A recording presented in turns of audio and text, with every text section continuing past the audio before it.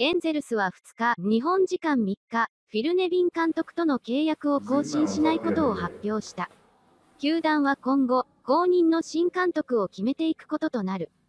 ネビン監督は昨年からエンゼルスに所属し、三塁コーチとしてチームに貢献。22年6月に前監督のジョー・マドン氏が解任され、監督代行としてシーズンを指揮し、今季から正式に監督として就任した。今季はエンゼルス大谷翔平投手を2年連続の開幕投手に指名し、基本的に中6日だった登板間隔を中5日に変更した。7月までは貯金をキープしていたが、故障者の続出などで8月に大失速。73勝89敗で借金16の結果に終わり、9年連続でポストシーズン進出を逃した。ネビン監督が指揮した268試合の成績は119勝149敗。大谷翔平がエンゼルスに加入してからの6年間で、ネビン氏は4人目の監督だった。大谷翔平、エンゼルス残留はない。米メディアは球団に継承、変化する可能性はあるが、ロサンゼルスエンゼルスの大谷翔平選手は契約最終年を迎えており、今オフにフリーエージェント FA となる。エンゼルスは大谷翔平との再契約を目指していたが、大谷翔平は他球団へ移籍するとの見方が強い。米メディア、ハロハングアウトのザカリー・ロットマン記者は、大谷翔平のエンゼルス残留の可能性について言及した。勝利を求める大谷翔平と再契約をするには、プレーオフに進出することがポイントだと見られていた。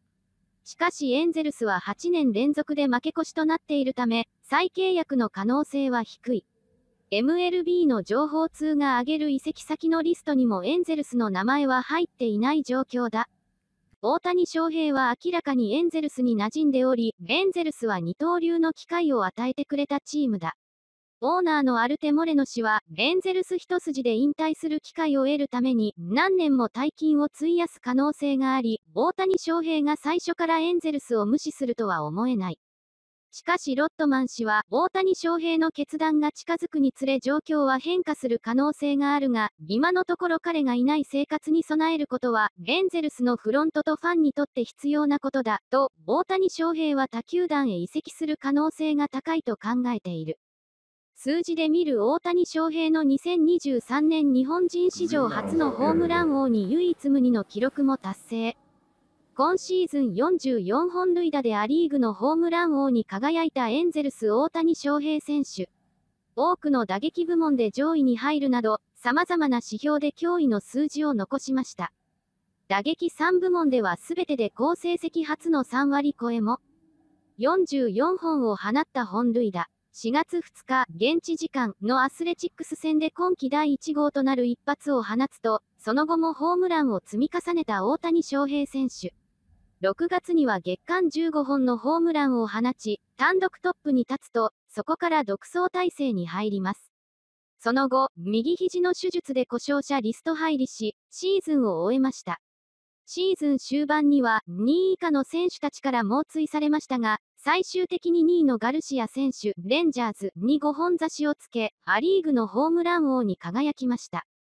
続いて打率ですが、304をマークした大谷翔平選手。首位打者になったディアス選手、レーズの打率330と大差はつけられましたが、自身初となる3割超えで4位にランクインしました。そして、大谷翔平選手が95打点を記録した打点。ア・リーグ1位のタッカー選手、アストロズの112打点には及びませんでしたが、シーズン終盤で離脱しながら14くらいタイ。チームではトップの数字を叩き出しました。ったし、でもファンを魅了メジャー史上初の記録も達成。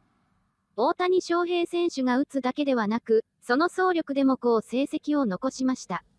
大谷翔平選手が快速を飛ばすなど8本放った三塁打。一時はトップを走っていましたが、11本打ったウィットジュニア選手などに越され、最終的に3位となりました。また、盗塁数はチームトップとなる20個をマーク。これでメジャー史上初の10の40から20、10勝40本塁打20盗塁を達成しました。シーズン終盤に離脱も各部門でメジャートップクラスの成績。得点では102得点でリーグ4位と上位に入った大谷翔平選手。安打数は151安打でリーグ22位。1位のセミエン選手、レンジャーズは185安打でした。4玉は91でリーグ5位でしたが、申告敬遠ではわずかの差で2位となった大谷翔平選手。それでも1位のラミレス選手、ガーディアンズが691打数で22個に対し、大谷翔平選手は599打数で21個と、その打数を考慮すると驚きの個数となりました。シーズン終盤に離脱し、135試合の出場にとどまりながらも各部門でトップクラスの成績を残した大谷翔平選手。ポプス1.066、出塁率点412、長打率654は文句なしでリーグトップの数字を叩き出しました。投手でも10勝をマーク奪三振率は2位相当。投手としては規定投球回にこそ到達しなかったものの、23試合に登板し10勝5敗、132回を投げ50失点。防御率は3.14の数字を残しました。また、奪三振では投球回が少ないにもかかわらず167奪三振を記録しリーグ20位にランクイン。奪三振率は11.39で、規定投球回数に届かずランク外になりますが、今季やリーグ奪三振王に輝いたブルージェイズのガウスマン投手に次ぐ2位に相当する数字でした。